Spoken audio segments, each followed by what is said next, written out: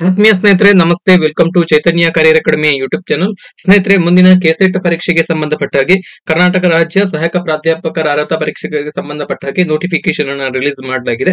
So, ಹಾಗಾಗಿ ಇವತ್ತಿನ ಈ ವಿಡಿಯೋದಲ್ಲಿ ಒಂದು ಕೆಸೆಟ್ ಪರೀಕ್ಷೆಗೆ ಸಂಬಂಧಪಟ್ಟ ಹಾಗೆ ಸಂಪೂರ್ಣವಾದ ಸಮಗ್ರವಾದ ಮಾಹಿತಿಯನ್ನ ನಿಮಗೆ ತಿಳಿಸುವಂತಹ ಪ್ರಯತ್ನವನ್ನ ಈ ವಿಡಿಯೋದಲ್ಲಿ ಮಾಡ್ತಾ ಹೋಗ್ತೇನೆ. ಹಾಗಾಗಿ ವಿಡಿಯೋವನ್ನ ಪೂರ್ತಿಯಾಗಿ ನೋಡಿ, ಹಾಗೇನೆ ಮುಂದಿನ ದಿನಗಳಲ್ಲಿ ನಮ್ಮ ಚಾನೆಲ್ ಅಲ್ಲಿ ಕೆಸೆಟ್ ಪರೀಕ್ಷೆಗೆ ಸಂಬಂಧಪಟ್ಟ ಹಾಗೆ ಸಾಕಷ್ಟು ಅಧ್ಯಯನ ವಿಡಿಯೋಗಳನ್ನು ನಾವು ಮಾಡ್ಲಿಕ್ಕಿದ್ದೇವೆ ಹಾಗಾಗಿ ನಮ್ಮ ಚಾನೆಲ್ಗೆ ದಯವಿಟ್ಟು ಸಬ್ಸ್ಕ್ರೈಬ್ ಮಾಡ್ಕೊಳ್ಳಿ. ಸ್ನೇಹಿತರೆ ನಿಮಗೆಲ್ಲರಿಗೂ ಕೂಡ ಗೊತ್ತಿರುವ ಹಾಗೆ ಕಳೆದ ಬಾರಿಯ ಕೆಸೆಟ್ ಪರೀಕ್ಷೆಯ ಏನು ಡಾಕ್ಯುಮೆಂಟ್ ವೆರಿಫಿಕೇಶನ್ ಅರ್ಹತೆಯನ್ನ ಹೊಂದಿದಂತಹ ಅಭ್ಯರ್ಥಿಗಳ ಡಾಕ್ಯುಮೆಂಟ್ ವೆರಿಫಿಕೇಶನ್ ಈಗ ನಡೀತಾ ಇದೆ. ಜುಲೈ ಹನ್ನೊಂದರಿಂದ ಡಾಕ್ಯುಮೆಂಟ್ ವೆರಿಫಿಕೇಶನ್ ಆಗ್ತಾ ಇದೆ. ಸೊ ಹಾಗಾಗಿ ಈಗ ಮುಂದಿನ ಕೆಸೆಟ್ ಪರೀಕ್ಷೆಗೆ ಸಂಬಂಧಪಟ್ಟ ಹಾಗೆ ಅಧಿಸೂಚನೆಯನ್ನ ಪ್ರಕಟ ಮಾಡಿರುವಂತದ್ದು ಈ ಬಾರಿ ಕೂಡ ಕರ್ನಾಟಕ ಪರೀಕ್ಷಾ ಪ್ರಾಧಿಕಾರವೇ ಈ ಕೆಸೆಟ್ ಪರೀಕ್ಷೆಯನ್ನ ನಡೆಸ್ತಾ ಇದೆ. ಸೊ ಇದು ಎರಡನೇ ಬಾರಿ ಸೆಕೆಂಡ್ ಟೈಮ್ ಕರ್ನಾಟಕ ಪರೀಕ್ಷಾ ಪ್ರಾಧಿಕಾರ ಈ ಕೆಸೆಟ್ ಪರೀಕ್ಷೆಯನ್ನ ನಡೆಸ್ತಾ ಇರುವಂತದ್ದು. ಸೊ ಇದಕ್ಕೆ ಸಂಬಂಧಪಟ್ಟಂತಹ ಡೀಟೇಲ್ಡ್ ನೋಟಿಫಿಕೇಶನ್ ಅನ್ನು ನೀವು ಇದರ ಅಧಿಕೃತ ವೆಬ್ಸೈಟ್ನಲ್ಲಿ ಕಾಣಬಹುದು. ಕೆಸೆಟ್ ಎರಡು ಸಾವಿರದ ಇಪ್ಪತ್ನಾಲ್ಕು ವಿವರವಾದ ಅಧಿಸೂಚನೆ.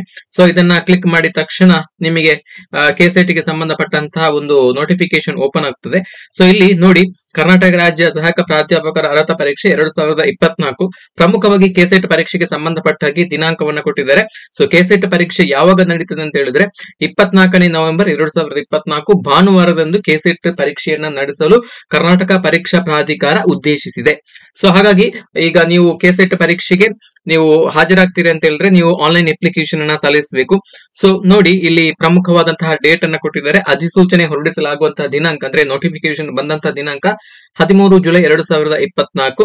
ಹಾಗೇನೆ ಆನ್ಲೈನ್ ಮೂಲಕ ಅರ್ಜಿ ಸಲ್ಲಿಕೆ ಪ್ರಾರಂಭವಾಗುವಂತಹ ದಿನಾಂಕ ಇಪ್ಪತ್ತೆರಡು ಜುಲೈ ಎರಡು ಸಾವಿರದ ಇಪ್ಪತ್ನಾಲ್ಕು. ಇಪ್ಪತ್ತೆರಡು ತಾರೀಕಿಗೆ ಆನ್ಲೈನ್ ಅಪ್ಲಿಕೇಶನ್ ಲಿಂಕ್ ಎನೇಬಲ್ ಆಗ್ತದೆ. ಆ ನಂತರ ನೀವು ಅರ್ಜಿಯನ್ನ ಸಲ್ಲಿಸಬಹುದು. ಹಾಗೆಯೇ ಆನ್ಲೈನ್ ಮುಖಾಂತರ ಅರ್ಜಿ ಸಲ್ಲಿಕೆಗೆ ಕೊನೆಯ ದಿನಾಂಕ ಇಪ್ಪತ್ತೆರಡು ಆಗಸ್ಟ್ ಎರಡು ಸಾವಿರದ ಇಪ್ಪತ್ನಾಲ್ಕು. ಇದು ಲಾಸ್ಟ್ ಡೇಟ್ ಹಾಗೇನೆ ಅರ್ಜಿಯನ್ನ ಸಲ್ಲಿಸಿ ಅರ್ಜಿ ಶುಲ್ಕವನ್ನ ಪಾವತಿಸಲಿಕ್ಕೆ ಕೊನೆಯ ದಿನಾಂಕ ಇಪ್ಪತ್ತಾರು ಆಗಸ್ಟ್ ಎರಡು ಸಾವಿರದ ಇಪ್ಪತ್ತ ನಾಲ್ಕು ಪರೀಕ್ಷಾ ದಿನಾಂಕಗಳು ಹೇಳಿದಾಗೆ ಇಪ್ಪತ್ನಾಲ್ಕು ನವೆಂಬರ್ ಎರಡು ಸಾವಿರದ ಇಪ್ಪತ್ನಾಲ್ಕು ಭಾನುವಾರದಂದು. ಈ ಕೆಸೆಟ್ ಪರೀಕ್ಷೆಗೆ ಅರ್ಜಿಯನ್ನ ಸಲ್ಲಿಸಬೇಕಿದ್ರೆ ಸೊ ನೀವು eligibility criteria minimum eligibility criteria ಏನಿರಬೇಕು ಎಜುಕೇಶನಲ್ ಕ್ವಾಲಿಫಿಕೇಶನ್ ಅಂತ ಹೇಳಿ ನೋಡಿ ಕೆಸೆಟ್ ಪರೀಕ್ಷೆ ಯು ಜಿ ಸಿ ನೆಟ್ ಪರೀಕ್ಷೆ ಏನು ನಡೀತದೆ, ಅದೇ ಮಾನದಂಡದ ಆಧಾರದ ಮೇಲೆ ಸೊ ಯು ಜಿ ಸಿ ನೆಟ್ಗೆ ಇರುವಂತಹ ಮಾನದಂಡವನ್ನು ಇಲ್ಲಿ ಕೆಸೆಟ್ ಪರೀಕ್ಷೆ ಕೂಡ ಅನುಸರಣೆ ಮಾಡಲಾಗ್ತದೆ. ನೋಡಿ, ಅರ್ಹತಾ ನಿಬಂಧನೆಗಳು ಸೊ ನೀವು ಕೆಸೆಟ್ ಪರೀಕ್ಷೆಯನ್ನ ಬರೀಬೇಕಿದ್ರೆ ಅಭ್ಯರ್ಥಿಗಳು ಯು ಜಿ ಸಿ ಇಂದ ಮಾನ್ಯತೆ ಪಡೆದಿರುವ ವಿಶ್ವವಿದ್ಯಾನಿಲಯ ರೆಕಗ್ನೈಸ್ಡ್ ಯೂನಿವರ್ಸಿಟಿಯಿಂದ ಅಥವಾ ಹೈಯರ್ ಎಜುಕೇಶನ್ ಇನ್ಸ್ಟಿಟ್ಯೂಷನ್ ಇಂದ ನೀವು ಪೋಸ್ಟ್ ಗ್ರಾಜುಯೇಷನ್ ಡಿಗ್ರಿಯನ್ನ ಪಡೆದಿರಬೇಕು. ಅಂದ್ರೆ ಸ್ನಾತಕೋತ್ತರ ಪದವಿಯನ್ನ ಪಡೆದಿರಬೇಕು. ಸೊ ಬರೀ ಪಡೆದ್ರೆ ಸಾಕಾಗುತ್ತಾ? ಸೊ ಇದರಲ್ಲಿ ಜನರಲ್ ಮೆರಿಟ್ ಅಭ್ಯರ್ಥಿಗಳು, ಅಂದ್ರೆ ಈ ಕೆಟಗರಿ ವ್ಯಾಪ್ತಿಯನ್ನ ಹೊರತುಪಡಿಸಿ ಉಳಿದೆಲ್ಲ ಅಭ್ಯರ್ಥಿಗಳು ಜನರಲ್ ಮೆರಿಟ್ ವ್ಯಾಪ್ತಿಯಲ್ಲಿ ಬರುವಂತಹ ಅಭ್ಯರ್ಥಿಗಳು ನಿಮ್ಮ ಪೋಸ್ಟ್ ಗ್ರಾಜುಯೇಷನ್ ಅಲ್ಲಿ ಶೇಕಡ ಐವತ್ತೈದು ಅಂಕಗಳನ್ನ ಗಳಿಸಿರ್ಬೇಕು. ಇದು ಪ್ರಮುಖವಾಗಿರುವಂತದ್ದು. ನೀವು general merit ಕ್ಯಾಂಡಿಡೇಟ್ಸ್ಗಳು below fifty five percent marks ಅನ್ನ ಗಳಿಸಿದರೆ ನೀವು ಕೆಸೆಟ್ ಪರೀಕ್ಷೆ ಬರೆಯುವ ಹಾಗಿಲ್ಲ. ನೀವು ಅಟ್ ಲೀಸ್ಟ್ ಮಿನಿಮಮ್ ಶೇಕಡ ಐವತ್ತೈದು ಅಂಕಗಳನ್ನ ಗಳಿಸಿರಬೇಕು ನಿಮ್ಮ ಪೋಸ್ಟ್ ಗ್ರಾಜುಯೇಷನ್ ಅಲ್ಲಿ. ಸೊ ಅದೇ ರೀತಿ ಈ ಕೆಟಗರಿ ವ್ಯಾಪ್ತಿಯಲ್ಲಿ ಬರುವಂತಹ ಅಭ್ಯರ್ಥಿಗಳು, ಅಂದ್ರೆ ಪರಿಶಿಷ್ಟ ಜಾತಿ ಇರಬಹುದು ಪರಿಶಿಷ್ಟ ಪಂಗಡ category one category two a two b three a three b ಹಾಗೆಯೇ ವಿಕಲಚೇತನ ಅಭ್ಯರ್ಥಿಗಳು ಹಾಗೆಯೇ ತೃತೀಯ ಲಿಂಗಿ ಅಭ್ಯರ್ಥಿಗಳು ಥರ್ಡ್ ಜೆಂಡರ್ ಟ್ರಾನ್ಸ್ಜೆಂಡರ್ ಅಭ್ಯರ್ಥಿಗಳು. ಸೊ ಇವರೆಲ್ಲ ನಿಮ್ಮ ಪೋಸ್ಟ್ ಗ್ರಾಜುಯೇಷನ್ ಡಿಗ್ರಿಯಲ್ಲಿ ಸ್ನಾತಕೋತ್ತರ ಪದವಿಯಲ್ಲಿ ಶೇಕಡ ಐವತ್ತು ಅಂಕಗಳನ್ನ ಗಳಿಸಿದ್ರೆ ಸಾಕು, ಇವರು ಕೂಡ ನೀವು ಕೆಸೆಟ್ ಪರೀಕ್ಷೆಗೆ ಅರ್ಜಿಯನ್ನ ಸಲ್ಲಿಸಬಹುದು ಸೊ ಇದಲ್ಲದೆ ಇದರ ಜೊತೆಗೆ ಯಾರೆಲ್ಲ ಸ್ನಾತಕೋತ್ತರ ಪದವಿಯ ಪ್ರಥಮ ಅಥವಾ ಅಂತಿಮ ವರ್ಷದ ಒಂದು ಕೋರ್ಸ್ ಅನ್ನ ಸ್ಟಡಿ ಮಾಡ್ತಿದ್ದಾರೆ. Post graduation M A first year ಆಗಿರ್ಬೋದು ಎಂ ಎ ಸೆಕೆಂಡ್ ಇಯರ್ ಆಗಿರ್ಬೋದು M S C first year ಆಗಿರ್ಬೋದು ಸೆಕೆಂಡ್ ಇಯರ್ ಆಗಿರ್ಬೋದು ಎಂ ಕಾಮ್ ಫಸ್ಟ್ ಇಯರ್ ಆಗಿರ್ಬೋದು ಸೆಕೆಂಡ್ ಇಯರ್ ಆಗಿರ್ಬೋದು, ಈ ತರ ಯಾರು ಇಂತಹ ಪೋಸ್ಟ್ ಗ್ರಾಜುಯೇಷನ್ ಕೋರ್ಸ್ ಅಲ್ಲಿ ಪ್ರಥಮ ಅಥವಾ ದ್ವಿತೀಯ ವರ್ಷದಲ್ಲಿ ವ್ಯಾಸಂಗವನ್ನ ಮಾಡ್ತಾ ಇದ್ದಾರೆ, ಅವರು ಕೂಡ ಈ ಕೆಸೆಟ್ ಪರೀಕ್ಷೆಯನ್ನ ತೆಗೆದುಕೊಳ್ಳಲಿಕ್ಕೆ ಅರ್ಹರಾಗಿರ್ತಾರೆ ಸೊ ಆದ್ರೆ ಒಂದು ಕಂಡೀಷನ್ ಏನಂತ ಹೇಳಿದ್ರೆ ಶೇಕಡ ಐವತ್ತೈದು ಅಂಕಗಳನ್ನ ಗಳಿಸಿರ್ಬೇಕು. ಅವರ ಪೋಸ್ಟ್ ಗ್ರಾಜುಯೇಷನ್ ಡಿಗ್ರಿಯಲ್ಲಿ ಐವತ್ತೈದು ಅಂಕಗಳನ್ನ ಗಳಿಸಬೇಕು. ಹಾಗೆಯೇ ಪರಿಶಿಷ್ಟ ಜಾತಿಯವರು ಶೇಕಡ ಐವತ್ತು ಅಂಕಗಳನ್ನ ಗಳಿಸಬೇಕು. ಸೊ ಈ ತರ ಗಳಿಸಿದ್ರೆ ಮಾತ್ರ ಒಂದು ವೇಳೆ ಇಂತಹ ಅಭ್ಯರ್ಥಿಗಳು ಕೆಸೆಟ್ ಪರೀಕ್ಷೆಯಲ್ಲಿ ಕ್ವಾಲಿಫೈ ಆದ್ರೂ ಕೂಡ ನೀವು ಪೋಸ್ಟ್ ಗ್ರಾಜುಯೇಷನ್ ಅಲ್ಲಿ ಇಷ್ಟು ಅಂಕಗಳನ್ನ ಗಳಿಸಿದ್ರೆ ಮಾತ್ರ ನಿಮ್ಮನ್ನ ಅರ್ಹರು ಅಂತ ಹೇಳಿ ಕನ್ಸಿಡರ್ ಮಾಡ್ತಾರೆ. ಸೊ ನೀವು ಕೆಸೆಟ್ ಪರೀಕ್ಷೆಯಲ್ಲಿ ಉತ್ತೀರ್ಣರಾಗಿ ಎಲಿಜಿಬಿಲಿಟಿಯನ್ನ ಗಳಿಸಿ, ನೀವು ಪೋಸ್ಟ್ ಗ್ರಾಜುಯೇಷನ್ ಅಲ್ಲಿ ಅಥವಾ ಇಲ್ಲಿ ಕೊಟ್ಟಂತಹ ಅಂಕಗಳಿಗಿಂತ ಕಡಿಮೆ ಅಂಕಗಳನ್ನ ಗಳಿಸಿದ್ರೆ ನೀವು ಇನ್ ಎಲಿಜಿಬಲ್ ಆಗ್ತೀರಿ. ಸೊ ಇನ್ನು ವಯೋಮಿತಿ. ಕೆಸೆಟ್ ಪರೀಕ್ಷೆಯನ್ನ ಬರಲಿಕ್ಕೆ ಏನಾದ್ರೂ ವಯೋಮಿತಿ ಇದೆಯಾ? ಅಪ್ಪರ್ ಏಜ್ ಲಿಮಿಟ್ ಏನಾದ್ರೂ ಇದೆಯಾ ಅಂತ ಹೇಳಿ. ಸೊ ಕರ್ನಾಟಕ ಸೊ ಕರ್ನಾಟಕ ರಾಜ್ಯ ಸಹಾಯಕ ಪ್ರಾಧ್ಯಾಪಕರ ಅರ್ಹತಾ ಪರೀಕ್ಷೆಯನ್ನ ತೆಗೆದುಕೊಳ್ಳಲು ಯಾವುದೇ ಗರಿಷ್ಠ ವಯೋಮಿತಿ ಇರುವುದಿಲ್ಲ. ಗರಿಷ್ಠ ವಯೋಮಿತಿ ಇಲ್ಲ. ಅಪ್ಪರ್ ಏಜ್ ಲಿಮಿಟ್ ಇರೋದಿಲ್ಲ ಸೊ ಹಾಗಾಗಿ ನಿಮ್ಮ ಏಜ್ ಎಷ್ಟೇ ಆಗಿದ್ರು ಕೂಡ ನೀವು ಕೆಸೆಟ್ ಪರೀಕ್ಷೆಯನ್ನ ಬರಿಬಹುದು ಫಿಫ್ಟಿ ಪ್ಲಸ್ ಆಗಿದ್ರು ಕೂಡ ನೀವು ಕೆಸೆಟ್ ಪರೀಕ್ಷೆಯನ್ನ ಬರಿಬಹುದು ಸೊ ಮುಂದಕ್ಕೆ ಪರೀಕ್ಷೆ ಶುಲ್ಕದ ಬಗ್ಗೆ, ಕೆಸೆಟ್ ಪರೀಕ್ಷಾ ಶುಲ್ಕದ ಬಗ್ಗೆ. ಕೆಸೆಟ್ ಪರೀಕ್ಷಾ ಶುಲ್ಕ ನೀವು ಕೆಸೆಟ್ ಪರೀಕ್ಷೆಗೆ ಆನ್ಲೈನ್ ಮುಖಾಂತರ ಅರ್ಜಿಯನ್ನ ಸಲ್ಲಿಸಿ ನೀವು ಶುಲ್ಕವನ್ನ ಆನ್ಲೈನ್ ಮುಖಾಂತರನೇ ಪಾವತಿಯನ್ನ ಮಾಡಬೇಕು. ಸೊ ಇಲ್ಲಿ ಲಾಸ್ಟ್ ಟೈಮ್ ಚಲನ್ ಮುಖಾಂತರ ಕೊಟ್ಟಿದ್ರು. ಅದಕ್ಕೆ ಫೀಸ್ ಪೇಮೆಂಟ್ಗೆ ಅವಕಾಶವನ್ನ ಕೊಟ್ಟಿದ್ರು. ಸೊ ಬಟ್ ಈ ವರ್ಷದಿಂದ ಆನ್ಲೈನ್ ಮುಖಾಂತರವೇ ನೀವು ಈ ಚಲನ್ ಪೇಮೆಂಟ್ ಮಾಡಬೇಕು. ಶುಲ್ಕವನ್ನ ಪಾವತಿಯನ್ನ ಮಾಡಬೇಕು. ಸೊ ಇಲ್ಲಿ ಶುಲ್ಕದ ವಿವರವನ್ನ ಕೊಟ್ಟಿದ್ದಾರೆ ನೋಡಿ. ಸಾಮಾನ್ಯ ವರ್ಗ ಪ್ರವರ್ಗ ಎರಡು ಎ, ಎರಡು ಬಿ, ಮೂರು ಎ, ಮೂರು ಬಿ ಮತ್ತು ಇತರ ರಾಜ್ಯದ ಅಭ್ಯರ್ಥಿಗಳಿಗೆ ಒಂದು ಸಾವಿರ ರೂಪಾಯಿಗಳ ಅರ್ಜಿ ಶುಲ್ಕವನ್ನ ಇಟ್ಟಿದ್ದಾರೆ. ಸೊ ಹಾಗೇನೆ ಇಲ್ಲಿ ಪ್ರವರ್ಗ ಒಂದು category one, S C, S T, P W D ಅಂದ್ರೆ ವಿಶೇಷ ಚೇತನ ಅಭ್ಯರ್ಥಿಗಳಿಗೆ ಹಾಗೂ ತೃತೀಯ ಲಿಂಗದ ಅಭ್ಯರ್ಥಿಗಳಿಗೆ ಏಳ್ನೂರು ರೂಪಾಯಿಗಳ ಅರ್ಜಿ ಶುಲ್ಕವನ್ನ ಇಟ್ಟಿದ್ದಾರೆ. ಸೊ ಅರ್ಜಿ ಶುಲ್ಕದ ಬಗ್ಗೆ ದಯವಿಟ್ಟು ನೋಡ್ಕೊಳ್ಳಿ. ಸೊ ಈಗಾಗಲೇ ಹೇಳಿದಾಗೆ ಶುಲ್ಕವನ್ನ ನೀವು ಆನ್ಲೈನ್ ಮುಖಾಂತರನೇ ಪಾವತಿಯನ್ನ ಮಾಡಬೇಕು. ಸೊ ಇನ್ನು ಪ್ರಮುಖವಾಗಿ ಪರೀಕ್ಷಾ ವಿಧಾನ ಮತ್ತು ಪರೀಕ್ಷಾ ದಿನಾಂಕ. ಕೆಸೆಟ್ ಪರೀಕ್ಷೆ ಯಾವ ರೀತಿ ನಡೆಯುತ್ತದೆ ಕೆಸೆಟ್ ಪರೀಕ್ಷೆಯ ಸ್ವರೂಪ ಏನು? But nature of KSET examination KSET question ಪೇಪರ್ನ ಪ್ಯಾಟರ್ನ್ ಹೇಗಿರುತ್ತೆ ಅಂತ ಹೇಳಿ ನೋಡಿ, ಇಲ್ಲಿ ಕ್ಲಿಯರ್ ಆಗಿ ಕೊಟ್ಟಿದ್ದಾರೆ. ಕೆಸೆಟ್ ಪರೀಕ್ಷೆ ಕೂಡ ಯು ಜಿ ಸಿ ನೆಟ್ ಪರೀಕ್ಷೆ ಏನು ನಡೀತದೆ. ಅದೇ ರೀತಿಯಲ್ಲಿ ನಡೆಯುತ್ತದೆ ಆ ಒಂದು ಪ್ಯಾಟರ್ನ್ ಅನ್ನು ಇಲ್ಲಿ ಕೂಡ ಫಾಲೋ ಮಾಡಲಾಗ್ತದೆ. ಸೊ ಈಗಾಗಲೇ ಹೇಳಿದಾಗೆ ಪರೀಕ್ಷೆಯ ದಿನಾಂಕ ಇಪ್ಪತ್ನಾಲ್ಕು ನವೆಂಬರ್ ಎರಡು ಸಾವಿರದ ಇಪ್ಪತ್ನಾಲ್ಕು. ಕೆಸೆಟ್ ಪರೀಕ್ಷೆಯಲ್ಲಿ ಒಟ್ಟು ಎರಡು ಪತ್ರಿಕೆಗಳು ಇರ್ತವೆ. ಸೊ ಪತ್ರಿಕೆ ಒಂದು ಮತ್ತು ಪತ್ರಿಕೆ ಎರಡು ಅಂತ ಹೇಳಿ ಕರೀತವೆ. ಸೊ ಇಲ್ಲಿ ಪತ್ರಿಕೆ ಒಂದು ಎಲ್ರಿಗೂ ಕೂಡ ಕಾಮನ್ ಆಗಿರುವಂತಹ ಒಂದು ಪತ್ರಿಕೆ. ಸೊ ನಿಮ್ಮ ಪೋಸ್ಟ್ ಗ್ರಾಜುಯೇಷನ್ ಡಿಗ್ರಿ ಯಾವುದೇ ಆಗಿರ್ಲಿ ಎಂ ಎ ಆಗಿರ್ಲಿ ಎಂ ಕಾಮ್ ಆಗಿರ್ಲಿ ಎಂ ಎಸ್ ಸಿ ಆಗಿರ್ಲಿ ಎಂ ಎಸ್ ಡಬ್ಲ್ಯೂ ಆಗಿರ್ಲಿ ಎಂ ಸಿ ಜೆ ಆಗಿರ್ಲಿ, ಯಾವುದೇ ಪೋಸ್ಟ್ ಗ್ರಾಜುಯೇಷನ್ ಡಿಗ್ರಿ ಆಗಿರ್ಲಿ, ನಿಮಗೆ ಪೇಪರ್ ಒನ್ ಕಾಮನ್ ಸೊ ಇದನ್ನ ನಾವು ಸಾಮಾನ್ಯ ಪತ್ರಿಕೆ ಅಂತ ಹೇಳಿ ಕರಿತೇವೆ, ಸಾಮಾನ್ಯ ಜ್ಞಾನ ಪತ್ರಿಕೆ ಅಂತ ಕರಿ ಕರಿತೇವೆ. ಈ ಪೇಪರ್ನ title general paper on teaching and research aptitude ಅಂತ ಹೇಳಿ ಈ ಒಂದು ಪೇಪರ್ ಅನ್ನ ನಾವು ಟೈಟಲ್ ಅನ್ನ ಕೊಟ್ಟಿದ್ದಾರೆ. ಸೊ ಈ ಪೇಪರ್ನಲ್ಲಿ ಒಟ್ಟು ಐವತ್ತು ಪ್ರಶ್ನೆಗಳು ಇರ್ತವೆ. ಐವತ್ತು ಪ್ರಶ್ನೆಗಳು fifty questions and each question carries two marks so total ಆಗಿ ಪೇಪರ್ ಒನ್ ಹಂಡ್ರೆಡ್ ಮಾರ್ಕ್ಸ್ ಇರ್ತದೆ, ನೂರು ಅಂಕಗಳಿಗೆ ಇರ್ತದೆ. ಸೊ ಹಾಗೇನೆ ಪೇಪರ್ ಟು ಸೊ ಇದು ನಿಮ್ಮ ಪಿ ಜಿ ಸಬ್ಜೆಕ್ಟ್ಗೆ ಸಂಬಂಧಪಟ್ಟ ಹಾಗೆ. ಸೊ ನೀವು ಪಿ ಜಿಯಲ್ಲಿ ಯಾವ ಸಬ್ಜೆಕ್ಟ್ ಅನ್ನ ಸ್ಟಡಿ ಮಾಡಿದ್ದೀರಿ ಸೊ ಅದರ ಮೇಲೆ ನೀವು ಪೇಪರ್ ಟೂ ಅನ್ನ ತಗೊಳ್ಬೇಕು. ಸೊ ಹಿಸ್ಟ್ರಿ ಸ್ಟಡಿ ಮಾಡಿದ್ರೆ ಹಿಸ್ಟ್ರಿ ಪೊಲಿಟಿಕಲ್ ಸೈನ್ಸ್ ಮಾಡಿದ್ರೆ ಪೊಲಿಟಿಕಲ್ ಸೈನ್ಸ್ ಅನ್ನ ಚಾಯ್ಸ್ ಮಾಡಬೇಕು. ಹಾಗೇನೆ ಎಕನಾಮಿಕ್ಸ್ ಮಾಡಿದ್ರೆ ಎಕನಾಮಿಕ್ಸ್ ಮ್ಯಾಥಮೆಟಿಕ್ಸ್ ಮಾಡಿದ್ರೆ ಮ್ಯಾಥಮೆಟಿಕಲ್ ಸೈನ್ಸ್ ಕೆಮಿಸ್ಟ್ರಿ ಮಾಡಿದ್ರೆ ಕೆಮಿಕಲ್ ಸೈನ್ಸ್ ಫಿಸಿಕ್ಸ್ ಮಾಡಿದ್ರೆ ಫಿಸಿಕಲ್ ಸೈನ್ಸ್ ಅಂಡ್ ಈ ತರ ಬಯಾಲಜಿಕಲ್ ಕೋರ್ಸ್ ಗಳನ್ನ ಮಾಡಿದ್ರೆ ನೀವು ಬಯಾಲಜಿಕಲ್ ಸೈನ್ಸ್ ಅನ್ನ ನೀವು ಚಾಯ್ಸ್ ಮಾಡಬೇಕು. ಸೊ ಈ ಪ್ರಶ್ನೆ ಪತ್ರಿಕೆಯಲ್ಲಿ ಒಟ್ಟು ನೂರು ಪ್ರಶ್ನೆಗಳು ಇರ್ತವೆ. ಈ ಪೇಪರ್ನಲ್ಲಿ ಒಟ್ಟು ನೂರು ಪ್ರಶ್ನೆಗಳು, ಪ್ರತಿಯೊಂದು ಪ್ರಶ್ನೆ ಕೂಡ ಎರಡು ಅಂಕಗಳು. ಹಾಗಾಗಿ ಪೇಪರ್ ಟು ಒಟ್ಟಾಗಿ ಇನ್ನೂರು ಅಂಕಗಳಿಗೆ ಇರ್ತದೆ. ಸೊ ಹಾಗೇನೆ ಈ ಎರಡು ಪತ್ರಿಕೆಗಳಿಗೂ ಕೂಡ ಸೇರಿ ಸಮಯಾವಕಾಶ ಮೂರು ಗಂಟೆ, ಒಟ್ಟು ಮೂರು ಗಂಟೆಗಳ ಕಾಲ ಸಮಯಾವಕಾಶವನ್ನ ಕೊಡ್ತಾರೆ. Duration is three hours so ಇದು ಬೆಳಿಗ್ಗೆ ಹತ್ತರಿಂದ ಮಧ್ಯಾಹ್ನ ಒಂದರವರೆಗೆ ನಡೀತದೆ. ಸೊ ಇಲ್ಲಿ ಕಳೆದ ಬಾರಿಯ ಕೆಸೆಟ್ ಪರೀಕ್ಷೆಯ ಏನು ಟೈಮ್ ಟೇಬಲ್ ಅನ್ನು ನಾವು ಒಂದಷ್ಟು ಗಮನಿಸಿದಾಗ ಸೊ ಇಲ್ಲಿ ಸ್ವಲ್ಪ ಡಿಫರೆನ್ಸ್ಗಳು ಕಂಡು ಬರ್ತದೆ ನೋಡಿ, ಕಳೆದ ಬಾರಿ ಹೇಗಿತ್ತು ಅಂತ ಹೇಳಿದ್ರೆ ಸೊ ಕಳೆದ ಬಾರಿ ಪೇಪರ್ ಒನ್ ಸೊ ಇದಕ್ಕೆ ಹಾಗೇನೆ ಪೇಪರ್ಗೆ ಸಪರೇಟ್ ಆಗಿ ಒಂದು ಗ್ಯಾಪ್ ಅನ್ನ ಕೊಡ್ತಾ ಇದ್ರು. ಸೊ ಇಲ್ಲಿ ಪೇಪರ್ ಒನ್ ಇಲ್ಲಿ ಹತ್ತರಿಂದ ಹನ್ನೊಂದರ ತನಕ ಇತ್ತು. ಸೊ ಆನಂತರ ಒಂದು ಗಂಟೆ ಗ್ಯಾಪ್ ಅನ್ನ ಕೊಟ್ಟು ಇಲ್ಲಿ ಹನ್ನೆರಡರಿಂದ ಎರಡು ಗಂಟೆಯ ತನಕ ಇಲ್ಲಿ ಪೇಪರ್ ಟೂ ಅನ್ನ ಮಾಡ್ತಾ ಇದ್ರು. ಸೊ ಈ ತರ ಒಂದು ಸ್ವಲ್ಪ ಸ್ಲೈಟ್ ಆದಂತಹ ಬದಲಾವಣೆಯನ್ನ ಮಾಡಿದ್ದಾರೆ. ಸೊ ಇದೀಗ ಈ ವರ್ಷ ಯು ಜಿ ಸಿ ನೆಟ್ ಯಾವ ತರ ನಡೀತದೆ ಕಂಟಿನ್ಯೂಸ್ ಆಗಿ ಮೂರು ಗಂಟೆ ನಡೀತದೆ. ಸೊ ಅದೇ ತರ ಈ ವರ್ಷ ಈ ಕೆಸೆಟ್ ಪರೀಕ್ಷೆಯನ್ನು ಕೂಡ ನಡೆಸ್ತಾ ಇರುವಂತದ್ದು. ಸೊ ಇಲ್ಲಿ paper one and paper two ನ ಬಗ್ಗೆ ಒಂದಷ್ಟು ಸಂಕ್ಷಿಪ್ತವಾದಂತಹ ಮಾಹಿತಿಯನ್ನು ಕೊಟ್ಟಿದ್ದಾರೆ. ಯಾವ ತರ ಈ paper one and paper two ಇರ್ತದೆ ಅಂತ ಹೇಳಿ ಸೊ ಇಲ್ಲಿ ಪೇಪರ್ ಒನ್ ಪ್ರಮುಖವಾಗಿ ಸೊ ಸಾಮಾನ್ಯ ಪತ್ರಿಕೆ ಅಂತ ಹೇಳಿ ಕರ್ತವೆ general paper on teaching and research aptitude so ಇದು ಸಾಮಾನ್ಯ ಪತ್ರಿಕೆಯು ಅಭ್ಯರ್ಥಿಗಳ ಬೋಧನೆ, ಸಂಶೋಧನೆ ಮತ್ತು ಬೌದ್ಧಿಕ ಸಾಮರ್ಥ್ಯಗಳನ್ನ ಪರೀಕ್ಷಿಸುವುದಾಗಿರುತ್ತದೆ. ಸೊ ಇದರಲ್ಲಿ ನಿಮ್ಮನ್ನ ಏನು ಟೆಸ್ಟ್ ಮಾಡ್ತಾರೆ ಅಂತ ಹೇಳಿದ್ರೆ, ನಿಮ್ಮ ಟೀಚಿಂಗ್ ಆಪ್ಟಿಟ್ಯೂಡ್ ಬೋಧನಾ ಅಭಿಕ್ಷಮತೆ, ಶೋಧನ ಅಭಿಕ್ಷಮತೆ ಹಾಗೂ ಬೌದ್ಧಿಕ ಸಾಮರ್ಥ್ಯಗಳನ್ನ ಪರೀಕ್ಷೆ ಮಾಡೋದಕ್ಕಾಗಿ ಈ ಒಂದು ಪೇಪರ್ ಅನ್ನು ಇಟ್ಟಿದ್ದಾರೆ. ಸೊ ಈ ಪತ್ರಿಕೆಯು ಅಭ್ಯರ್ಥಿಗಳ ಸಾಮಾನ್ಯ ಪತ್ರಿಕೆಯಾಗಿದ್ದು, ಸಾಮಾನ್ಯ ಜ್ಞಾನ, ಅಂದ್ರೆ ಜನರಲ್ ನಾಲೆಜ್ ಇದೆ, ಬೋಧನೆ ಟೀಚಿಂಗ್ ಹಾಗೆಯೇ ಸಂಶೋಧನೆಯ ಅಭಿರುಚಿಗೆ. ರಿಸರ್ಚ್ ಆಪ್ಟಿಟ್ಯೂಡ್ಗೆ ಸಂಬಂಧಪಟ್ಟ ಹಾಗೆ ಪ್ರಶ್ನೆಗಳನ್ನ ಕೇಳಲಾಗ್ತದೆ.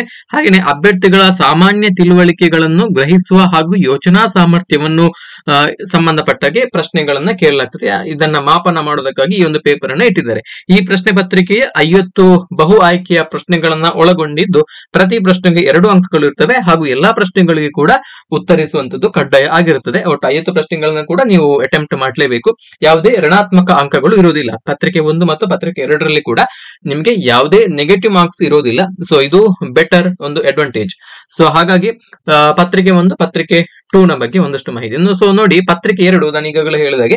ಸೊ ಇದು ವಿಷಯ ಪತ್ರಿಕೆ ಸಬ್ಜೆಕ್ಟ್ ಪೇಪರ್ ನಿಮ್ಮ ಪಿ ಜಿ ಸಬ್ಜೆಕ್ಟ್ ಯಾವ್ದಿದೆ ಸೊ ಅದರ ಮೇಲೆ ನೀವು ಪೇಪರ್ ಟೂ ಅನ್ನ ಚಾಯ್ಸ್ ಮಾಡಬೇಕು. ಈ ಪತ್ರಿಕೆಯು ಅಭ್ಯರ್ಥಿಯು ಆಯ್ಕೆ ಮಾಡಿದಂತಹ ವಿಷಯದ್ದಾಗಿರುತ್ತದೆ. ನೀವು ಯಾವುದು ಪಿ ಜಿಯಲ್ಲಿ ಸ್ಟಡಿ ಮಾಡಿದ್ದೀರಿ ಸೊ ಅದನ್ನೇ ನೀವು ಇಲ್ಲಿ ಚಾಯ್ಸ್ ಮಾಡಬೇಕು. ಈ ಪತ್ರಿಕೆಯು ಆಯ್ಕೆ ಮಾಡಿದ ವಿಷಯಗಳಲ್ಲಿ ಒಟ್ಟು ನೂರು ಕಡ್ಡಾಯ ಬಹು ಆಯ್ಕೆಯ ಪ್ರಶ್ನೆಗಳನ್ನ ಒಳಗೊಂಡಿದ್ದು, ಪ್ರತಿ ಪ್ರಶ್ನೆಗೂ ಎರಡು ಅಂಕಗಳನ್ನ ನೀಡಲಾಗಿರುತ್ತದೆ. ಒಟ್ಟು ಗರಿಷ್ಠ ಇನ್ನೂರು ಅಂಕಗಳಿಗೆ ಪೇಪರ್ ಟೂ ಇರುತ್ತದೆ. ಹಾಗಾಗಿ ಇಲ್ಲಿ ಪೇಪರ್ ಟೂ ಒಟ್ಟು ಇನ್ನೂರು ಅಂಕಗಳಿಗೆ ಪೇಪರ್ ಒನ್ ನೂರು ಅಂಕಗಳಿಗೆ ಸೊ ಒಟ್ಟಾಗಿ ಕೆ ಸೆಟ್ ಪರೀಕ್ಷೆ ಮುನ್ನೂರು ಅಂಕಗಳಿಗೆ ನಡೆಯುತ್ತದೆ. ಮೂರು ಗಂಟೆಗಳ ಕಾಲಾವಕಾಶವನ್ನ ನೀಡಲಾಗ್ತದೆ. ಸೊ ಇನ್ನು ಪ್ರಮುಖವಾಗಿ ಕೆಸೆಟ್ ಪರೀಕ್ಷೆಯ ಫಲಿತಾಂಶ ಪ್ರಕಟಣೆಯ ವಿಧಾನ. ಸೊ ಕೆಸೆಟ್ ಪರೀಕ್ಷೆಯ ಫಲಿತಾಂಶ ಪ್ರಕಟಣೆಗೆ ಯುಜಿಸಿ ಮಾರ್ಗಸೂಚಿಗಳ ಅನ್ವಯ. ಯುಜಿಸಿ ನೆಟ್ಗೆ ಯಾವ ತರ ಮಾನದಂಡವನ್ನ ಅನುಸರಣೆ ಮಾಡಲಾಗ್ತದೆ, ಅದೇ ಮಾನದಂಡವನ್ನ ಇಲ್ಲಿ ಕೆಸೆಟ್ ಪರೀಕ್ಷೆಯ ಫಲಿತಾಂಶ ಪ್ರಕಟಣೆಯ ಕೂಡ ಅನ್ವಯ ಮಾಡಲಾಗ್ತದೆ. ಕೆಸೆಟ್ ಪರೀಕ್ಷೆಯಲ್ಲಿ ಅರ್ಹತೆ ಪಡೆಯಲು ಅಭ್ಯರ್ಥಿಗಳನ್ನು ಈ ಕೆಳಕಂಡಂತೆ ಯುಜಿಸಿ ಮಾರ್ಗಸೂಚಿಗಳಂತೆ ಪರಿಗಣಿಸಬೇಕು. ಸೊ ಇಲ್ಲಿ ಸಹಾಯಕ ಪ್ರಾಧ್ಯಾಪಕರ ಅರ್ಹತೆಗಾಗಿ ಅಭ್ಯರ್ಥಿಗಳು ಪೇಪರ್ ಒನ್ ಮತ್ತು ಪೇಪರ್ ಟು ಪತ್ರಿಕೆಗಳ ಒಟ್ಟು ಅಂಕಗಳಲ್ಲಿ ಕೆಳಗೆ ನಿರ್ದಿಷ್ಟಪಡಿಸಿದ ಕನಿಷ್ಠ ಅಂಕಗಳನ್ನ ಪಡೆದಿರಬೇಕು. ಇಲ್ಲಿ ಯಾವ ತರ ನೀವು ಮಾರ್ಕ್ಸ್ ಗಳನ್ನ ಗಳಿಸಿರಬೇಕು ಮಿನಿಮಮ್ ಎಲಿಜಿಬಿಲಿಟಿಯನ್ನ ಗಳಿಸಲಿಕ್ಕೆ ಅಂತ ಇಲ್ಲಿ ಕೊಟ್ಟಿದ್ದಾರೆ. ನೋಡಿ ಪ್ರಮುಖವಾಗಿ ಇದನ್ನೇ ನೀವು ಗಮನಿಸಬೇಕು. ಸೊ ಇಲ್ಲಿ ಈಗಾಗಲೇ ಹೇಳಿದಾಗೆ ಕೆಸೆಟ್ ಪರೀಕ್ಷೆಯಲ್ಲಿ ಎರಡು ಪತ್ರಿಕೆಗಳು ಇರ್ತವೆ paper one and paper two general merit ಕ್ಯಾಂಡಿಡೇಟ್ಸ್ಗಳು GM ಕ್ಯಾಂಡಿಡೇಟ್ಸ್ಗಳು paper one and paper two ಎರಡು ಪತ್ರಿಕೆಗಳು ಸೇರಿ ಒಟ್ಟು ನಲವತ್ತು ಶೇಕಡ ಅಂಕಗಳನ್ನ ಗಳಿಸಿರ್ಬೇಕು, ನಲವತ್ತು ಶೇಕಡ ಅಂಕಗಳನ್ನ ಗಳಿಸಿರ್ಬೇಕು. ಯಾರು? ಜನರಲ್ ಮೆರಿಟ್ ಕ್ಯಾಂಡಿಡೇಟ್ಸ್ಗಳು. ಸೊ ಕೆಸೆಟ್ ಪರೀಕ್ಷೆ ನಡೆಯುವಂತದ್ದು ಮುನ್ನೂರು ಅಂಕಗಳಿಗೆ. ಮುನ್ನೂರಲ್ಲಿ ನೀವು ಎಷ್ಟು ಅಂಕಗಳನ್ನ ಗಳಿಸಬೇಕು? ಮುನ್ನೂರಲ್ಲಿ ನೀವು ನೂರ ಇಪ್ಪತ್ತು ಅಂಕಗಳನ್ನ ಗಳಿಸಿರ್ಬೇಕು. ಸೊ ಈ ತರ ಮಾಡಿದ್ರೆ ನಿಮಗೆ ಫೋರ್ಟಿ ಪರ್ಸೆಂಟ್ ಬರುತ್ತೆ.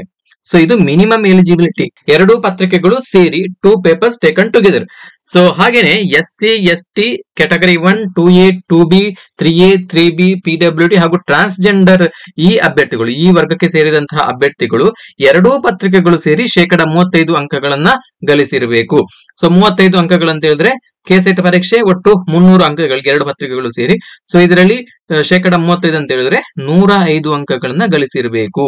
ನೂರ ಐದು ಅಂಕಗಳನ್ನ ಗಳಿಸಿದ್ರೆ ನೀವು ಆ ಒಂದು ಎಲಿಜಿಬಿಲಿಟಿಯ ಅರ್ಹತೆಗೆ ಪರಿಗಣನೆಗೆ ನೀವು ಅರ್ಹರಾಗಿರ್ತೀರಿ ಅಂತ ಅರ್ಥ. ನಿಮಗೆ ಅರ್ಹತೆ ಸಿಗುದು ಬಿಡುದು ಸೆಕೆಂಡರಿ ಸೊ ಅದು ನಿಮ್ಮ ಏನು ಕಟ್ ಆಫ್ ಏನು ನಿಗದಿ ಮಾಡ್ತಾರೆ ಫಿಕ್ಸ್ ಮಾಡ್ತಾರೆ. ಅದರ ಮೇಲೆ ಡಿಪೆಂಡ್ ನಿಮ್ಮ ಕ್ಯಾಟಗರಿ ರಿಸರ್ವೇಶನ್ ಆಗಿರ್ಬೋದು number of candidates appeared for the examination each subject so ಇದರ ಮೇಲೆಲ್ಲ ಇದು ಕಟ್ ಆಫ್ ಎಲ್ಲ ಡಿಪೆಂಡ್ ಆಗ್ತದೆ. ಸೊ ಹಾಗಾಗಿ ಸೊ ಇದು ಮಿನಿಮಮ್ ಎಲಿಜಿಬಿಲಿಟಿಯನ್ನು ನೀವು ಸ್ಯಾಟಿಸ್ಫೈ ಮಾಡಲೇಬೇಕು. ಸೊ ಇಷ್ಟು ಗಳಿಸಿದ್ರೆ ಸಾಕ. ಸೊ ಬರೀ ಇಷ್ಟು ಗಳಿಸಿದ್ರೆ ಸಾಕಾಗಲ್ಲ. ಸೊ ಇದು ಮಿನಿಮಮ್ ಎಲಿಜಿಬಿಲಿಟಿ ನೀವು ಆ ಒಂದು ಅರ್ಹತೆಯ, ಆ ಒಂದು ಪಟ್ಟಿಗೆ ಬರ್ಲಿಕ್ಕೆ ಅರ್ಹರಾಗಿರ್ತೀರಿ ಅಂತ ಅರ್ಥ. ನಿಮ್ಮನ್ನ ಕನ್ಸಿಡರ್ ಮಾಡ್ತಾರೆ ಅಂತ ಅರ್ಥ. ಅದು ನಿಮ್ಮ, ಆ ಒಂದು ಎಲಿಜಿಬಿಲಿಟಿ ಲಿಸ್ಟ್ ಅಲ್ಲಿ ನಿಮ್ಮ ಹೆಸರು ಬರೋದು. ಆ ಒಂದು ಎಲಿಜಿಬಿಲಿಟಿ ಪ್ರತಿಯೊಂದು ಸಬ್ಜೆಕ್ಟ್ಗೆ ಕೂಡ ಸಂಬಂಧಪಟ್ಟಾಗೆ ಬೇರೆ ಬೇರೆ ತರ ಕಟ್ ಆಫ್ ನಿಲ್ಲುತ್ತೆ. ಸೊ ಆ ಒಂದು ಕಟ್ ಆಫ್ನ ವ್ಯಾಪ್ತಿಗೆ ನಿಮ್ಮನ್ನ ಕನ್ಸಿಡರ್ ಮಾಡ್ಬೇಕಿದ್ರೆ, ನಿಮ್ಮನ್ನ ನೀವು ಇಷ್ಟು ಅಂಕಗಳನ್ನ ಗಳಿಸಿರ್ಬೇಕು. ನೀವು below forty percent general merit ಕ್ಯಾಂಡಿಡೇಟ್ಸ್ಗಳು below forty percent ಹಾಗೆ ಎಸ್ ಸಿ ಎಸ್ ಟಿ ಕ್ಯಾಂಡಿಡೇಟ್ಸ್ಗಳು ಅಂದ್ರೆ ಕೆಟಗರಿ ವ್ಯಾಪ್ತಿಯಲ್ಲಿ ಬರುವಂತ ಎಲ್ಲ ಅಭ್ಯರ್ಥಿಗಳು ಕೂಡ. ಇರೋ ಮೂವತ್ತೈದು ಪರ್ಸೆಂಟ್ ಅಂಕಗಳಿಗಿಂತ ಕಡಿಮೆ ಅಂಕಗಳನ್ನು ತಗೊಂಡ್ರೆ ನಿಮ್ಮನ್ನ ಕನ್ಸಿಡರ್ ಮಾಡೋದೇ ಇಲ್ಲ. ಸೊ ನೀವು ಇಲ್ಲೇ ಈ ಹಂತದಲ್ಲಿ ಎಲಿಮಿನೇಟ್ ಆಗ್ತೀರಿ. ಸೊ ಇದು ಪ್ರಮುಖವಾಗಿ ನೀವು ಗಮನದಲ್ಲಿ ಇಟ್ಕೊಂಡು ನಿಮ್ಮ ಅಧ್ಯಯನವನ್ನ ಮಾಡಬೇಕು. ಇಷ್ಟು ಮಿನಿಮಮ್ ಅಂಕಗಳನ್ನ ಗಳಿಸಲಿಕ್ಕೆ ನೀವು ಪ್ರತಿಯೊಬ್ರು ಕೂಡ, ಎಲ್ಲಾ ಕೆಟಗರಿ ವ್ಯಾಪ್ತಿಯಲ್ಲಿ ಬರುವಂತವರು ಕೂಡ ಪ್ರಯತ್ನ ಮಾಡಲೇಬೇಕು. ಇದು minimum criteria eligibility criteria so ಅದಾದ ನಂತರ ಈ ಸ್ಲಾಟ್ಸ್ ಗಳನ್ನ ಒಂದು ಪ್ರತಿ ವರ್ಷ ಎಷ್ಟು ಜನರಿಗೆ ಕೆಸೆಟ್ ಪರೀಕ್ಷೆಯ ಅರ್ಹತಾ ಪ್ರಮಾಣ ಪತ್ರವನ್ನ ಕೊಡಬೇಕು ಎಲಿಜಿಬಿಲಿಟಿಯನ್ನ ಕೊಡಬೇಕು. ಸೊ ಅದನ್ನ ಕ್ಯಾಲ್ಕುಲೇಟ್ ಮಾಡ್ಲಿಕ್ಕೆ ಸಪರೇಟ್ ಆದಂತಹ ಸೂತ್ರ ಇದೆ. ಸೊ ಅದು ಸಿಂಪಲ್ ಆಗಿ ಈ ಒಂದು ಕೆಸೆಟ್ ಪರೀಕ್ಷೆಗೆ ಹಾಜರಾದಂತಹ ಒಟ್ಟು ಅಭ್ಯರ್ಥಿಗಳಲ್ಲಿ ಶೇಕಡ ಆರು ಜನರನ್ನ ಮಾತ್ರ ಈ ಒಂದು ಕೆಸೆಟ್ ಎಲಿಜಿಬಿಲಿಟಿಗೆ ಅರ್ಹರು ಅಂತ ಹೇಳಿ ಕನ್ಸಿಡರ್ ಮಾಡ್ತಾರೆ. ಒಟ್ಟು ಆರು ಶೇಕಡ. ಅಂದ್ರೆ ಈಗ ಒಂದು ಲಕ್ಷ ಜನ ಅಭ್ಯರ್ಥಿಗಳು ಕೆಸೆಟ್ ಪರೀಕ್ಷೆಗೆ ಎರಡು ಪತ್ರಿಕೆಗಳಿಗೆ ಕೂಡ ಹಾಜರಾಗಿದೆ ಅದರ ಶೇಕಡ ಆರು ಫಾರ್ ಎಕ್ಸಾಂಪಲ್ ಹೇಳುತ್ತಿರುವಂತದ್ದು ನಾನು, ಶೇಕಡ ಆರು ಅಂತ ಹೇಳಿದ್ರೆ ಆರು ಸಾವಿರ ಜನರಿಗೆ ಕೆಸೆಟ್ ಎಲಿಜಿಬಿಲಿಟಿಯನ್ನ ಕೊಡ್ತಾರೆ ಅಂತ ಅರ್ಥ. ಸೊ ಅದನ್ನ ಯಾವ ತರ ಕ್ಯಾನ್ಸಲ್ ಸೊ ಅದನ್ನ ಯಾವ ತರ ಕ್ಯಾಲ್ಕುಲೇಟ್ ಮಾಡ್ತಾರೆ ಅಂತ ಹೇಳಿ ಇಲ್ಲಿ ಸಪರೇಟ್ ಆದಂತಹ ಫಾರ್ಮುಲಾವನ್ನ ಕೊಟ್ಟಿದ್ದಾರೆ. ಸೊ ಇಲ್ಲಿ ಈಚ್ ಸಬ್ಜೆಕ್ಟ್ ಗಳಿಗೆ ಈಚ್ ಕೆಟಗರಿಗೆ ಯಾವ ತರ ಈ ಒಂದು, ಆ ಒಂದು ಸ್ಲಾಟ್ಸ್ ಗಳನ್ನ ಎಷ್ಟು ಜನರಿಗೆ ಕೊಡಬೇಕು ಅನ್ನೋದನ್ನ ನಿಗದಿ ಮಾಡ್ತಾರೆ ಅನ್ನೋದ್ರ ಬಗ್ಗೆ ಒಂದು ಇಲ್ಲಿ ಸೂತ್ರವನ್ನ ಕೊಟ್ಟಿದ್ದಾರೆ. ಸೊ ಅದರ ಬಗ್ಗೆ ನೀವು ಹೆಚ್ಚಾಗಿ ತಲೆ ಕೆಡಿಸಬೇಕಾದಂತ ಅವಶ್ಯಕತೆ ಇಲ್ಲ. ನಿಮ್ಮ ಗಮನ ಏನಿದ್ರು ನೀವು ಆ ಒಂದು ಮಿನಿಮಮ್ ಅಂಕಗಳನ್ನ ಗಳಿಸುವತ್ತ ಹಾಗೇನೆ ಹೈಯೆಸ್ಟ್ ಅಂಕಗಳನ್ನ ಗಳಿಸುವತ್ತ ನಿಮ್ಮ ಪ್ರಯತ್ನ ಇರಬೇಕು. ಸೊ ನೆಕ್ಸ್ಟ್ ನೋಡಿ ಕೆಸೆಟ್ ಪಠ್ಯಕ್ರಮ ಮತ್ತು ಪ್ರಶ್ನೆ ಪತ್ರಿಕೆ. ಸೊ ಕೆಸೆಟ್ ಪರೀಕ್ಷೆ, ಪಠ್ಯಕ್ರಮ ಮತ್ತು ಪ್ರಶ್ನೆ ಪತ್ರಿಕೆ syllabus and question paper so ಇಲ್ಲಿ ಕೆಸೆಟ್ ಪರೀಕ್ಷೆ ಕಳೆದ ಬಾರಿ ಏನು ಸಿಲೆಬಸ್ ಇತ್ತು, ಅದೇ ಸಿಲೆಬಸ್ ಈ ವರ್ಷ ಕೂಡ ರಿಪೀಟ್ ಆಗುತ್ತೆ. ಎರಡ್ ಸಾವಿರದ ಇಪ್ಪತ್ತ ಮೂರರ ಕೆಸೆಟ್ ಪರೀಕ್ಷೆ ಏನು ಜನವರಿ ತಿಂಗಳಲ್ಲಿ ನಡೆದಿತ್ತು ಸೊ ಇದರ ಸಿಲೆಬಸ್ ಈ ವರ್ಷ ಕೂಡ ಇಟ್ಟಿದ್ದಾರೆ. ಯಾವುದೇ ಚೇಂಜಸ್ ಆಗೋದಿಲ್ಲ. ಹಾಗಾಗಿ ಸೊ ಇನ್ನು ಈಗ ಕ್ವಶನ್ ಪೇಪರ್ ಕ್ವಶನ್ ಪೇಪರ್ ಎರಡು ವರ್ಷನಲ್ಲಿ ಬರ್ತದೆ. Kannada version and English version so ನಿಮಗೆ ಕನ್ನಡ ವರ್ಷನ್ ಅಲ್ಲಿ ಏನೇ ಡಿಫರೆನ್ಸ್ಗಳು ಇದ್ರು ಕೂಡ, ಏನೇ ವ್ಯತ್ಯಾಸಗಳು ಕಂಡು ಬಂದ್ರು ಕೂಡ ಇಂಗ್ಲಿಷ್ ವರ್ಷನ್ ಅಂತಿಮ ಆಗಿರುತ್ತದೆ English version will prevail over Kannada version so ಇದನ್ನ ನೀವು ಗಮನದಲ್ಲಿ ಇಟ್ಕೊಳ್ಬೇಕು.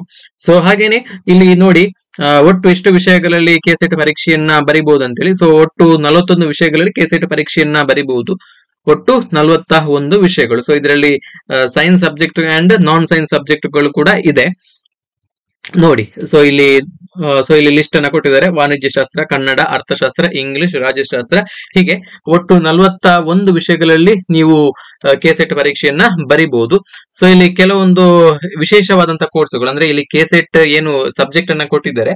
ಸೊ ಅಲ್ಲಿ ಲಿಸ್ಟ್ ಔಟ್ ಆಗದಂತಹ ಅಭ್ಯರ್ಥಿಗಳು, ಆ ಒಂದು ಅಂತಹ ಕೋರ್ಸ್ ಗಳನ್ನ ಮಾಡಿದ್ರೆ ಸೊ ಯಾವ ವಿಷಯದಲ್ಲಿ ಪರೀಕ್ಷೆಯನ್ನ ಬರಿಬೇಕಂತ ಹೇಳಿ ಕೊಟ್ಟಿದ್ದಾರೆ. ನೋಡಿ, ಇಲ್ಲಿ ಅರ್ಥಶಾಸ್ತ್ರ ಹಾಗೇನೆ ಕಾಪರೇಷನ್ ವಿಷಯದಲ್ಲಿ ಇದಕ್ಕೆ ಸಂಬಂಧಪಟ್ಟ ಹಾಗೆ ಸ್ನಾತಕೋತ್ತರ ಪದವಿಯನ್ನ ಪಡೆದಿದ್ರೆ ಅವರು ಅರ್ಥಶಾಸ್ತ್ರದಲ್ಲಿ ಕೆಸೆಟ್ ಪರೀಕ್ಷೆಯನ್ನ ಬರೀಬೇಕು. ಹಾಗೇನೆ ನಿರ್ವಹಣೆ ಅಂದ್ರೆ ಮ್ಯಾನೇಜ್ಮೆಂಟ್ ವಿಷಯದಲ್ಲಿ, ಅಂದ್ರೆ ಎಂ ಬಿ ಎ ಕೋರ್ಸ್ ಅನ್ನ ಮಾಡಿದ್ರೆ ಅವರು ಮ್ಯಾನೇಜ್ಮೆಂಟ್ ವಿಷಯದಲ್ಲಿ ಕೆಸೆಟ್ ಪರೀಕ್ಷೆಯನ್ನ ಬರೀಬೇಕು.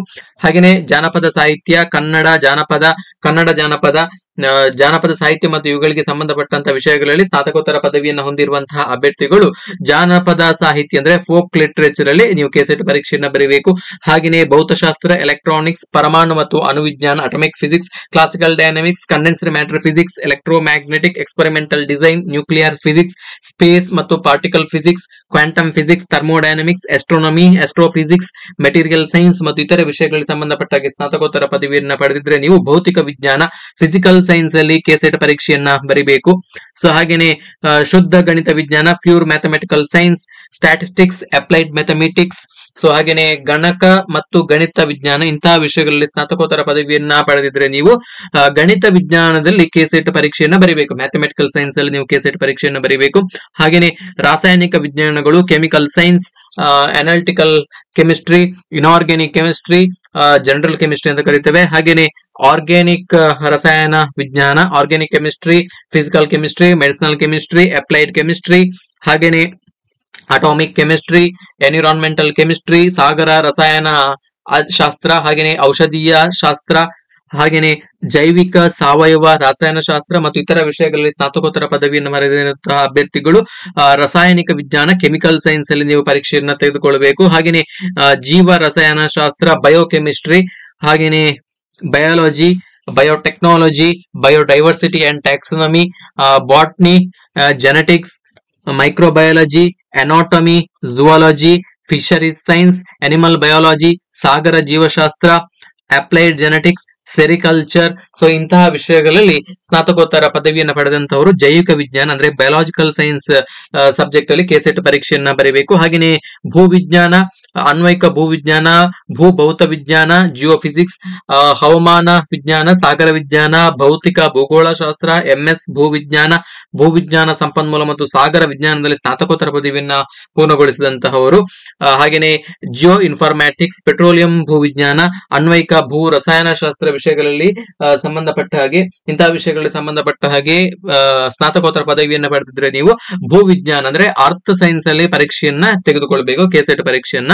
ಹಾಗೆಯೇ ಪುರಾತತ್ವ ಶಾಸ್ತ್ರ ಅಂದ್ರೆ ಆರ್ಕಿಯಾಲಜಿ ವಿಷಯದಲ್ಲಿ ಮತ್ತು ಇವುಗಳಿಗೆ ಸಂಬಂಧಪಟ್ಟಂತಹ ವಿಷಯಗಳಲ್ಲಿ ಸ್ನಾತಕೋತ್ತರ ಪದವಿಯನ್ನ ಪಡೆದಿದ್ರೆ ನೀವು ಪುರಾತತ್ವ ಶಾಸ್ತ್ರ ಅಂದ್ರೆ ಆರ್ಕಿಯಾಲಜಿ ವಿಷಯದಲ್ಲಿ ನೀವು ಕೆಸೆಟ್ ಪರೀಕ್ಷೆಯನ್ನ ನೀವು ತೆಗೆದುಕೊಳ್ಳಬೇಕು. ಸೊ ಹಾಗೆಯೇ ಮಹಿಳಾ ಅಧ್ಯಯನ ಗ್ರಾಮೀಣ ಅಭಿವೃದ್ಧಿ ಮಾನವಿಕ, ಸಮಾಜ ವಿಜ್ಞಾನ ಮತ್ತು ಭಾಷಾ ವಿಷಯಗಳಲ್ಲಿ ಎರಡು ವರ್ಷಗಳ ಅವಧಿಯ ಸ್ನಾತಕೋತ್ತರ ಪದವಿಯನ್ನ ಪಡೆದಿರುವಂತಹ ಅಭ್ಯರ್ಥಿಗಳು ಮಹಿಳಾ ಅಧ್ಯಯನದಲ್ಲಿ ನೀವು ಕೆಸೆಟ್ ಪರೀಕ್ಷೆಯನ್ನ ಪಡೆದುಕೊಳ್ಳಬೇಕು, ತೆಗೆದುಕೊಳ್ಳಬೇಕು.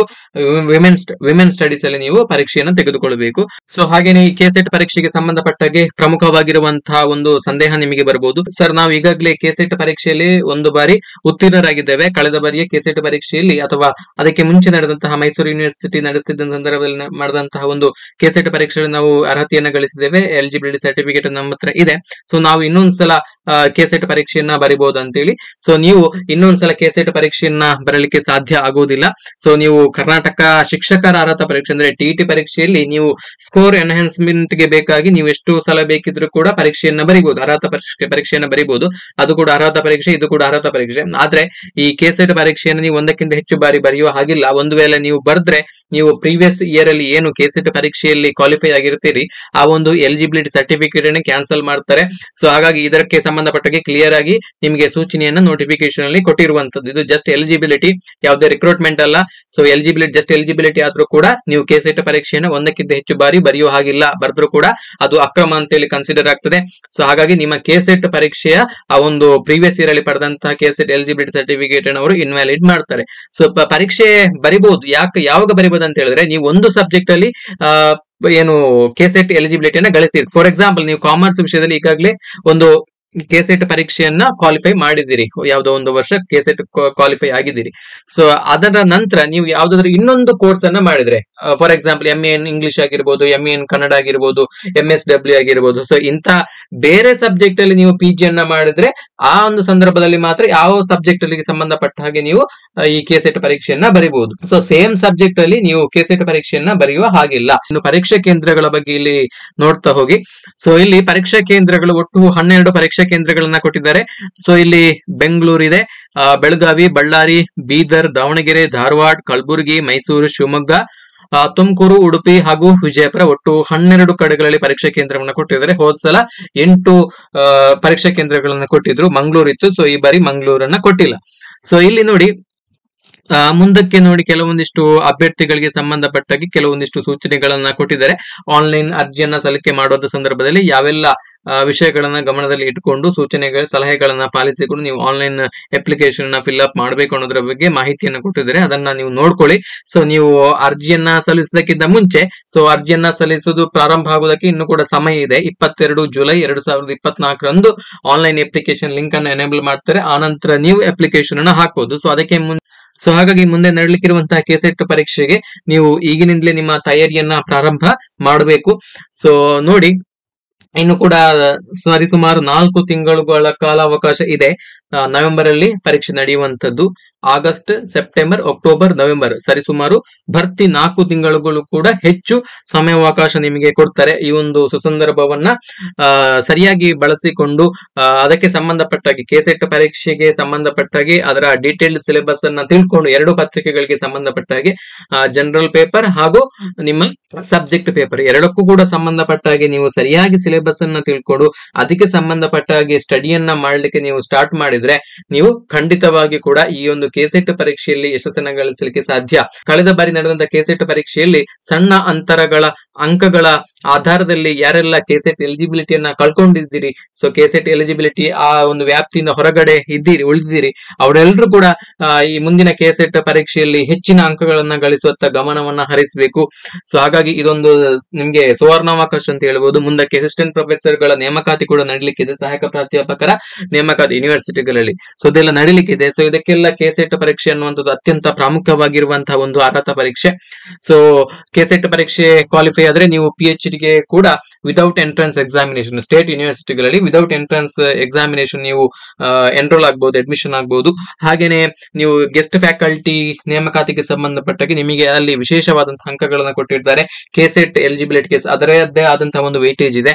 ಸೊ ಹಾಗಾಗಿ ಇವೆಲ್ಲವೂ ಕೂಡ ಅವಕಾಶಗಳು ನಿಮ್ಮ ಮುಂದೆ ಸಾಕಷ್ಟು ಇದೆ. ನೀವು ಈ ಎಲ್ಲ ಅವಕಾಶಗಳನ್ನ ನೀವು ಬಳಸಿಕೊಂಡು ನೀವು ಈ ಒಂದು ಕೆಸೆಟ್ ಪರೀಕ್ಷೆಯಲ್ಲಿ ಯಶಸ್ಸನ್ನ ಗಳಿಸುವತ್ತ ಗಮನವನ್ನು ಹರಿಸಬೇಕು. ಹಾಗೆಯೇ ನಾವು ಕೂಡ ನಿಮಗೆ ಮುಂದಿನ ಕೆಸೆಟ್ ಪರೀಕ್ಷೆಗೆ ಪ್ರಮುಖವಾಗಿ ನಿಮ್ಮ ಸಾಮಾನ್ಯ ಪತ್ರಿಕೆಗೆ ಉಪಯುಕ್ತ ಆಗುವ ಹಾಗೆ ಸಾಕಷ್ಟು ಅಧ್ಯಯನ ವಿಡಿಯೋಗಳನ್ನ ನಾವು ಕೂಡ ಮಾಡ್ಲಿಕ್ಕಿದ್ದೇವೆ. ಸೊ ಯಾರೆಲ್ಲ ನಮ್ಮ ಚಾನೆಲ್ ಅನ್ನ ಸಬ್ಸ್ಕ್ರೈಬ್ ಮಾಡಿಲ್ಲ, ದಯವಿಟ್ಟು ಸಬ್ಸ್ಕ್ರೈಬ್ ಮಾಡ್ಕೊಳ್ಳಿ. ಸೊ ನಾವು ಕಳೆದ ಬಾರಿ ಕೂಡ ಕೆಸೆಟ್ ಪರೀಕ್ಷೆಗೆ ಸಂಬಂಧಪಟ್ಟ ಹಾಗೆ ಹಲವಾರು ಅಧ್ಯಯನ ವಿಡಿಯೋಗಳನ್ನ ಮಾಡಿದ್ದೇವೆ. ಪ್ರೀವಿಯಸ್ ಇಯರ್ ಕ್ವಶನ್ ಪೇಪರ್ ಗಳನ್ನ ಸಾಲ್ವ್ ಮಾಡೋದಾಗಿರ್ಬೋದು ಸಬ್ಜೆಕ್ಟ್ ವೈಸ್ ಟಾಪಿಕ್ ವೈಸ್ ಏನು ಸಿಲೆಬಸ್ ಗಳನ್ನ ಕವರ್ ಮಾಡೋದಾಗಿರ್ಬೋದು ಸೊ ಈ ತರ ಮಾಡಿದ್ದೇವೆ. ಎರಡು ಸಾವಿರದ ಹನ್ನೊಂದರಿಂದ ಎರಡು ಸಾವಿರದ ಇಪ್ಪತ್ನಾಲ್ಕರ ತನಕ ನಡೆದಂತಹ ಎಲ್ಲ ಕೆಸೆಟ್ ಪರೀಕ್ಷೆಗಳ ಸಾಮಾನ್ಯ ಪತ್ರಿಕೆಯ ಒಂದು ಕ್ವಶನ್ ಪೇಪರ್ ಅನ್ನು ನಾವು ಕಂಪ್ಲೀಟ್ ಆಗಿ ಸೊಲ್ಯೂಷನ್ ಅನ್ನ ಕೊಟ್ಟು ಅಲ್ಲಿ ಕಂಪ್ಲೀಟ್ ಆಗಿ ಅತ್ಯಂತ ಸರಳವಾಗಿ ಸಾಲ್ವ್ ಮಾಡಿ ನಾವು ವಿಡಿಯೋವನ್ನು ಅಪ್ಲೋಡ್ ಮಾಡಿದ್ದೇವೆ. ನೀವು ಅದನ್ನ ಕೂಡ ರೆಫರ್ ಮಾಡಬಹುದು. ನೀವು ಕೆಸೆಟ್ ಪರೀಕ್ಷೆಯಲ್ಲಿ ಕ್ಲಿಯರ್ ಆಗ್ಬೇಕಿದ್ರೆ ಅದನ್ನ ನೀವು ಕ್ರ್ಯಾಕ್ ಮಾಡಬೇಕಿದ್ರೆ ನೀವು ಸಾಕಷ್ಟು ಮಾಡೆಲ್ ಕ್ವಶನ್ ಪೇಪರ್ ಗಳಾಗಿರ್ಬೋದು ಪ್ರೀವಿಯಸ್ ಇಯರ್ ಕ್ವಶನ್ ಪೇಪರ್ ಗಳಾಗಿರ್ಬೋದು, ಹಾಗೆಯೇ ಕ್ವಶನ್ ಬ್ಯಾಂಕ್ ಗಳಾಗಿರ್ಬೋದು ಟೆಸ್ಟ್ ಸೀರೀಸ್ ಗಳಾಗಿರ್ಬೋದು ಮಾಕ್ ಟೆಸ್ಟ್ ಗಳಾಗಿರ್ಬೋದು, ಇವೆಲ್ಲವನ್ನು ಕೂಡ ನೀವು ಅಧ್ಯಯನವನ್ನ ಮಾಡುವುದ ಅತ್ಯಂತ ಅವಶ್ಯಕ. ಸೊ ಅದಕ್ಕೆ ಇದಲ್ಲದೆ ನಿಮ್ಮ ಪಿ ಜಿ ಸಬ್ಜೆಕ್ಟ್ಗೆ ಸಂಬಂಧಪಟ್ಟ ಹಾಗೆ ಸಾಕಷ್ಟು ನೀವು ವಿಸ್ತೃತವಾದಂತಹ ಅಧ್ಯಯನವನ್ನ ಮಾಡಬೇಕು. ಸೊ ಹಾಗಾಗಿ ಇವೆಲ್ಲ ಅಂಶಗಳನ್ನ ಗಮನದಲ್ಲಿ ಇಟ್ಕೊಂಡು ನಿಮ್ಮ ಕೆಸೆಟ್ ಪರೀಕ್ಷೆಯಲ್ಲಿ ನೀವು ಯಶಸ್ಸನ್ನ ಕಾಣುವತ್ತ ನಿಮ್ಮ ಗಮನವನ್ನ ಕೊಡಿ. ಸೊ ಇಷ್ಟು ನೋಟಿಫಿಕೇಶನ್ ಬಗ್ಗೆ ಒಂದಷ್ಟು ವಿಡಿಯೋ ಲಾಂಗ್ ಆಯ್ತು ಅನಿಸುತ್ತೆ. ಸೊ ಮುಂದಿನ ದಿನಗಳಲ್ಲಿ ಸಾಕಷ್ಟು ಉನ್ನತ ಮಟ್ಟದ ಉನ್ನತ ಗುಣಮಟ್ಟದ ವಿಡಿಯೋಗಳನ್ನ ಮಾಡ್ಲಿಕ್ಕೆ ನಾವು ಪ್ರಯತ್ನವನ್ನ ಮಾಡ್ತೇವೆ. ಥ್ಯಾಂಕ್ ಯು ನಮಸ್ತೆ.